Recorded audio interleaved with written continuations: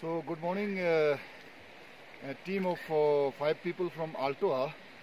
We are on a uh, recce of Chadar uh, by the order of district administration.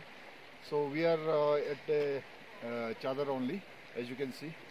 So weather is uh, completely packed, and uh, today we will go up to Shingra Gongma base camp to see the preparedness of the rescue and everything. So so far uh, from last three days, trekkers were not allowed here because it was uh, snowing heavily. So today, uh, fortunately, the snow has stopped. So most probably, if everything is okay on the ground, from tomorrow the trekkers will be again allowed. Thank you very much.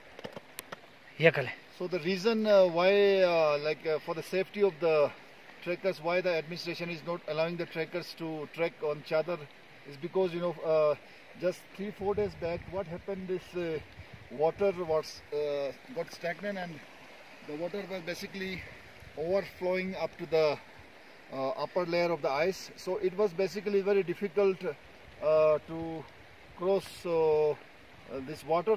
And from some sources, we came to know that water was up to the above the knee level, up to your hip.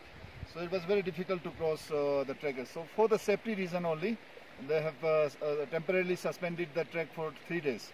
So most probably, as I said, if the weather and the condition will be okay, so from tomorrow the uh, trek will be once again resumed. That's why we are here to uh, for the survey and recce from All Ladakh Tour Operator Association. Thank you. Uh, as you know that on the social media there was so much of rumor spreading that uh, some uh, 30 people, 30 to 40 people are sort of missing on the Chadar trek uh, on different social media, uh, which is totally, I would say, uh, is a baseless uh, story.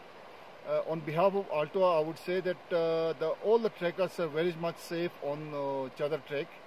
And as I said earlier, that district administration along with Altoa, so we are in close coordination to make this Chadar once again successful. Thank you very much.